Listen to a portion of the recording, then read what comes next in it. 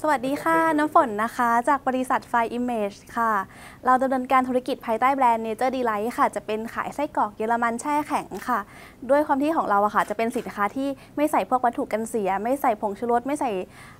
พวกสารเคมีต่างๆ ค่ะ แล้วก็จะมีพวกซอสมัสตาร์ดแล้วก็เป็นแยมด้วยค่ะ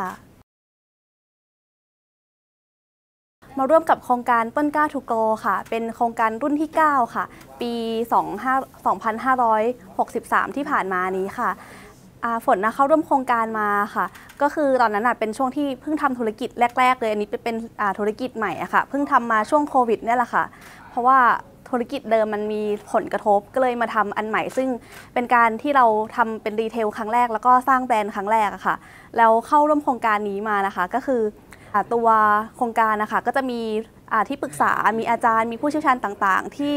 เขาให้คำแนะนำเราดีมากๆเลยคำแนะนำที่เราได้มาค่ะ ก็จะมีการสร้างแบรนดิ้ง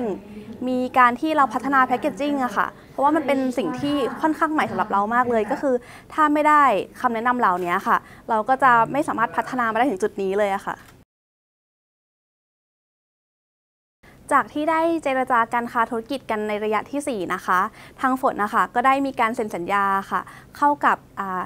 ของทาง The Mall Group อะค่ะ ที่เป็นกูเมมาร์เก็ตแล้วก็กับ Tops Supermarket อะค่ะ ซึ่งจริง ๆ แล้วอะค่ะ ทั้ง 2 เจ้าเนี้ยทางฝนก็เคยมีไปเจรจาการค้ากับโครงการอื่นมาแล้ว แต่ว่ามาสำเร็จจากโครงการนี้อะค่ะ นอกจากที่ได้วางใน Top กับ The Mall นะคะ เราก็มีได้เข้าไปวางสินค้าใน AEC Trade Center ค่ะ ที่เป็นศูนย์ค้าส่งแห่งใหญ่ในกรุงเทพอะค่ะ ที่อยู่ตรงแถวพันทิพย์ประตูน้ำค่ะ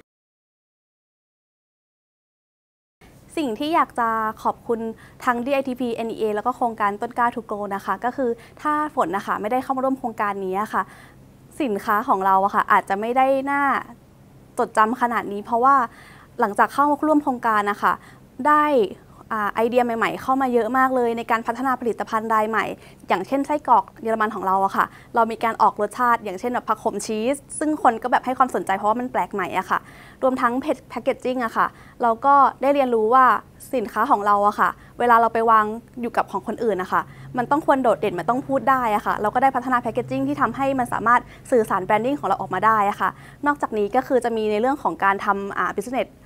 แพลนนะคะคือถ้าเรายังแบบทำธุรกิจแบบเดิมอะค่ะ เราอาจจะไม่ได้มองลึกขึ้นไปถึงว่าเราต้องมีแพลนอะไรบ้างในอนาคตอะค่ะ แต่พอมาร่วมโครงการนี้ค่ะ ได้มีการ